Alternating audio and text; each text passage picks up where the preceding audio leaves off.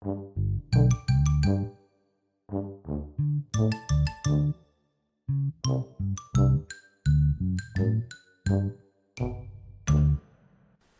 avventure di Pinocchio di Carlo Collodi letto da Libri in pillole. Capitolo 19 Pinocchio è derubato delle sue monete d'oro e per gastigo si busca quattro mesi di prigione. Il burattino, ritornato in città, cominciò subito a contare i minuti a uno a uno e quando gli parve che fosse l'ora, riprese subito la strada che menava al campo dei miracoli. E mentre camminava con passo frettoloso, il cuore gli batteva e gli faceva tic tac, tic tac, come un orologio da sala quando corre davvero. E intanto pensava dentro di sé. E se invece di mille monete ne trovassi sui rami dell'albero duemila? E se invece di duemila ne trovassi cinquemila? E se invece di cinquemila ne trovassi centomila?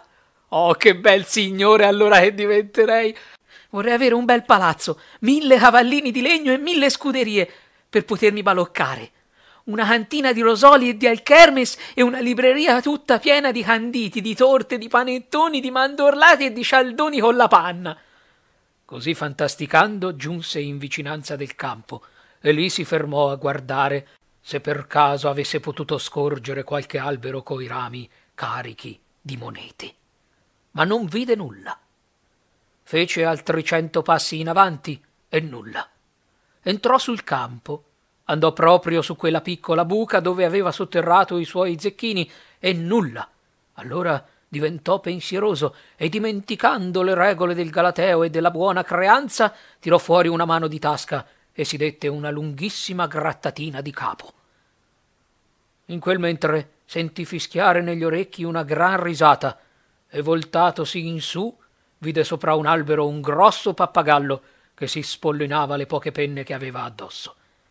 Perché ridi? gli domandò Pinocchio con voce di bizza. Rido perché nello spollinarmi mi sono fatto il solletico sotto le ali. Il burattino non rispose. Andò alla gora e, riempita d'acqua la solita ciabatta, si pose nuovamente ad annaffiare la terra che ricopriva le monete d'oro. Quand'ecco che un'altra risata, anche più impertinente della prima, si fece sentire nella solitudine silenziosa di quel campo.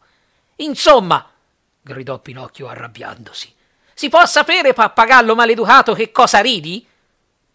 Rido di quei barbagianni che credono a tutte le scioccherie e che si lasciano trappolare da chi è più furbo di loro.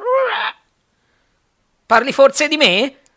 Sì, parlo di te, povero Pinocchio, di te che sei così dolce di sale da credere che i denari si possano seminare e raccogliere nei campi, Beh, come si seminano i fagioli e le zucche. Anch'io l'ho creduto una volta e oggi ne porto le pene. Oggi, ma troppo tardi, mi son dovuto persuadere che per mettere insieme onestamente pochi soldi Bisogna saperseli guadagnare o col lavoro delle proprie mani o con l'ingegno della propria brrr, testa. Non ti capisco, disse il burattino che già cominciava a tremare dalla paura. Pazienza, mi spiegherò meglio, soggiunse il pappagallo.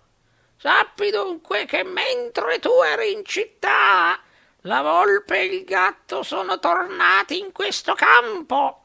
Hanno preso le monete d'oro sotterrate e poi sono fuggiti come il vento. E ora chi li raggiunge è bravo. Pinocchio restò a bocca aperta e non volendo credere alle parole del pappagallo, cominciò con le mani e con le unghie a scavare il terreno che aveva annaffiato.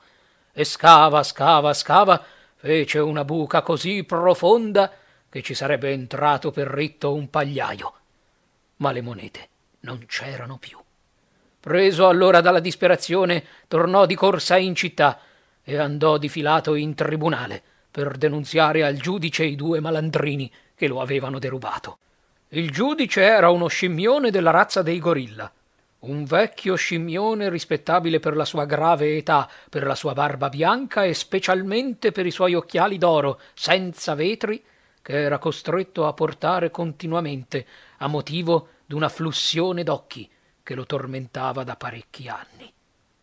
Pinocchio, alla presenza del giudice, raccontò per filo e per segno l'iniqua frode di cui era stato vittima, dette il nome, il cognome e i connotati dei malandrini e finì chiedendo giustizia.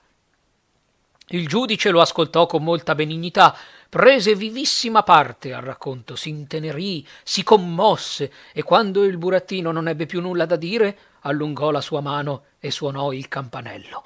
A quella scampanellata comparvero subito due cammastini vestiti da gendarmi.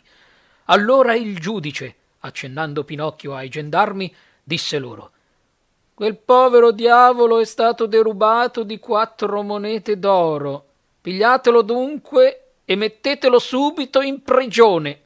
Il burattino, sentendosi dare questa sentenza fra capo e collo, rimase di princisbecco e voleva protestare, ma i gendarmi, a scanso di perditempi inutili, gli tapparono la bocca e lo condussero in gattabuia.